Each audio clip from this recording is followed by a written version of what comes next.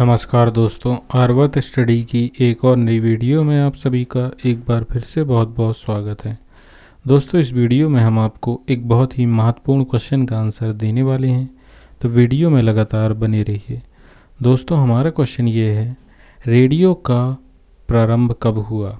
तो दोस्तों, हम आपको बता दें, रेडियो प्रसारण का प्रारंभ 1927 से आरंभ हुआ था।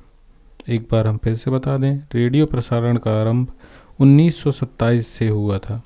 तो दोस्तों, अगर वीडियो पसंद आई हो तो हमारी वीडियो को लाइक करना मत भूलिएगा और ऐसी इंटरेस्टिंग वीडियो के लिए हमारे इस चैनल को सब्सक्राइब ज़रूर कर लीजिएगा। धन्यवाद।